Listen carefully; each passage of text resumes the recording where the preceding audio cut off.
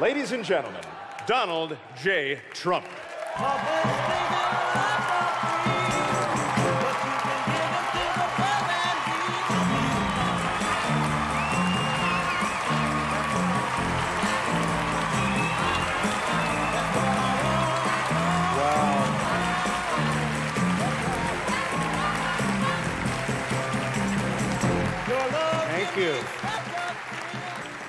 What a great honor it must be for you to honor me tonight.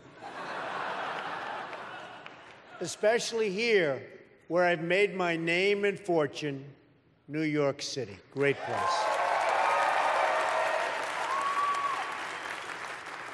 Now, I know what you're thinking.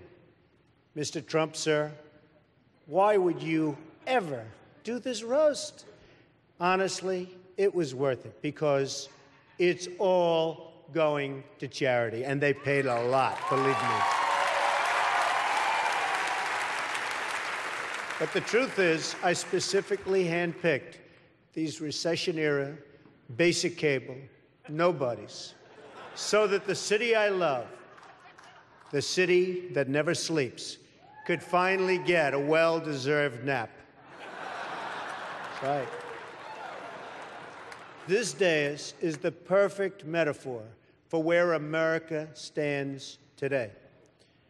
Look at our economy barely moving, gasping for air, and desperately clinging to life. Very much like Larry King. the only difference is with Larry, we have a never ending supply of gas. never ends. This great country of ours was built on its entrepreneurial spirit. And that spirit is best demonstrated by none other than my friend Snoop Dogg. His is a tale of do rags to riches. true. It's true. He's very proud of that. That's why I'm so happy to see Snoop sitting up here next to his former rival, Biggie Smalls, right here.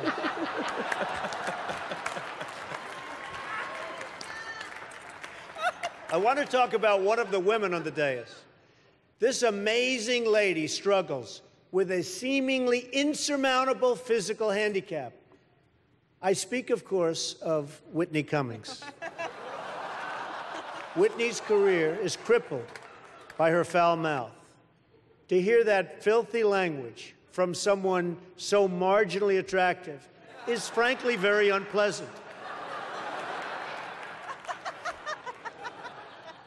Lisa, or as I call her, Miss USDA,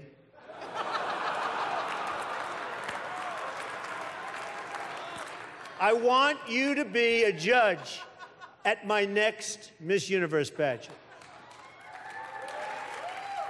You're perfect because, like the universe, you're constantly expanding and filled with dark matter.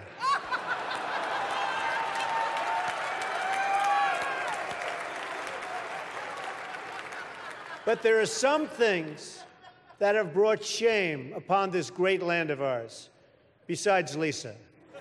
I speak of the atrocities that we as a nation must endure, like the Jersey Shore. A piece of advice, my greasy friend.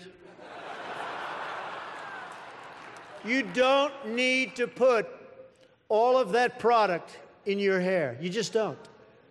Look how great my hair looks, and I don't use anything, and it looks very good.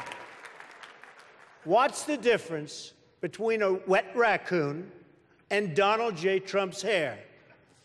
A wet raccoon doesn't have $7 billion in the bank.